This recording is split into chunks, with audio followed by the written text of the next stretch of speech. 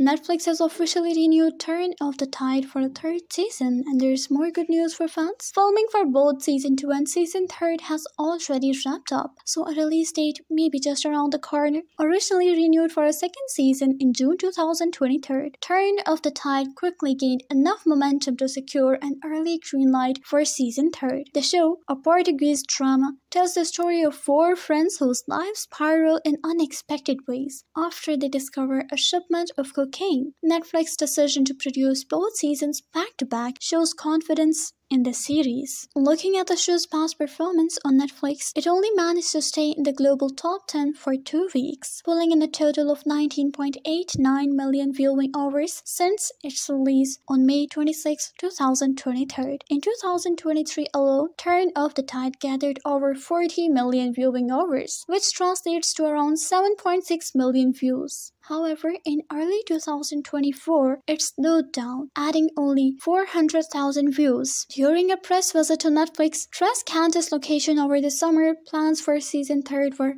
revealed. With Netflix Spain and Portugal sharing some exciting updates, Diego Ávalos Netflix VP for Spain, Portugal, and Nordics shared how the production team shot scenes between Lisbon and Azores to keep the setting authentic, as the story is closely tied to the Azores. Netflix has yet to announce the release date for season 2, but they did provide a glimpse into what's next in season 2, three months after Eduardo's departure. He returns to his hometown of Rabo de To discover that the stash of drugs he left behind has fallen into hands of an unexpected enemy. This twist sets off a new series of challenges, testing friendships and loyalty within the crew. Are you excited to see what's in store for Turn of the Tide in Season 2 and 3? Share your thoughts below and stay tuned for more updates on this hit series from Portugal.